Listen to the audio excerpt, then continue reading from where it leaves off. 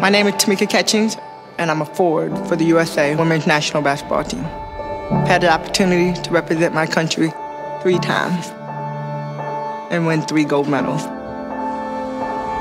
And I play in the WNBA for the Indiana Fever.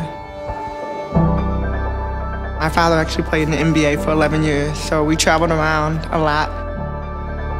At that point in time, I wanted to play soccer and softball. Those were my first two sports. And then I started playing basketball when I was in third grade.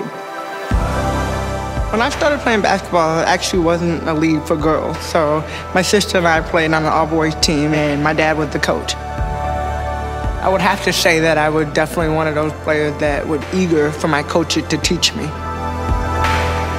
Sports to me was an outlet. You know, I grew up with a hearing problem and a speech problem. Sports was a way that I could practice and I could get really, really good at something. Being in the gym my own world where nobody could mess with me, nobody could say anything bad to me. It's not just about winning and losing. My dad always talked about the number one thing is I want you to have fun and I want you to work hard. So whether you're the best player or the worst player, you still get an opportunity to play.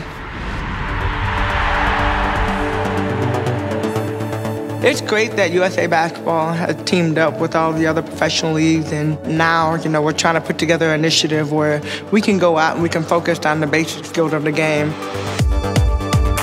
From ball handling to shooting, passing, defense, being a great team player. I think it's really important to be able to teach the skills young because as you get older, you see a lot of dunking and all these spectacular moves and stuff.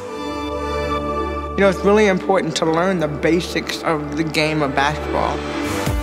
It's really important for coaches to get certified. And the coaches, you're there to help teach them, but encourage them and not just focus on playing to win all the time.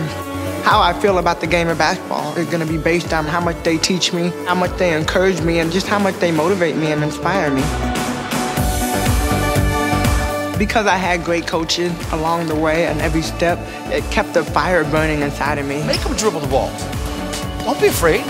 That's what coaches are there for. They're there to teach you first, but you know, encourage you and, and motivate you. And I think the more you have that as a coach and the energy that you have is the energy that you put inside those kids. So if you're passionate and you love it and you can teach the basic skills, you put that inside of a child that continues to grow and they grow the same love that you have for the game.